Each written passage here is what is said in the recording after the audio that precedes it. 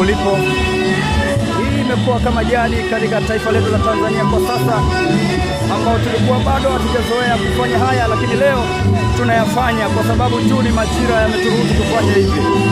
Mtu yeyote popote alipo anatakiwa afuate utaratibu huu ambao umetolewa na Wizara ya Afya Tanzania, kama uh, kwa mfano hapa Sinai Mission International eh, Sinai Pentecostal Center hapa Kimara Temboni. Kwa hiyo ndugu mtazamaji wangu popote ulipo, Sinai Pentecostal Center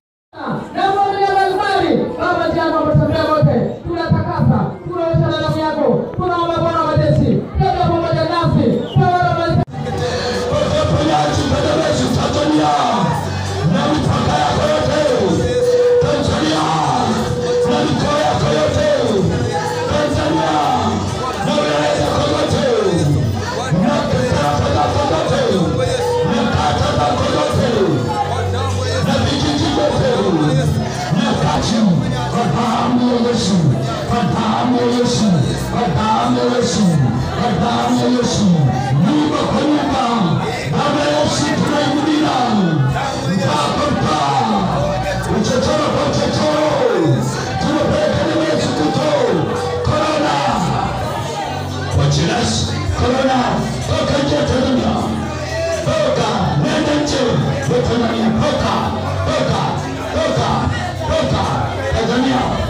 Tanzania tumeweka kwenye huduma ya msiba kwa kiasi hiki cha nusu mlingoti kwa ajili ya msiba wa ndugu zetu waliopoteza maisha kwa ajili ya korona.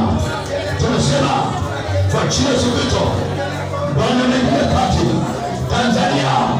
Sasa basi, tunasema sasa basi, yatosha waliokufa, yatosha waliokufa. Kwa jina Yesu Tunaingia kati kwa maombi ya nchi nzima na agizo na tangazo na mkuu wetu wa nchi, rais wetu Joseph John Pombe Magufuli, dokta huyu kwa jina Yesu Kristo, Mungu mtukufu, pokea Tanzania, pokea Tanzania bila msiba, pokea Na msiba tena.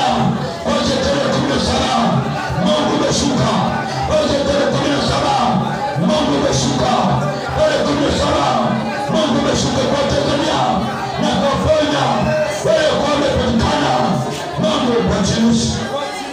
Baba kwa jina Yesu. Baba kwa jina Yesu. Baba kwa jina Yesu.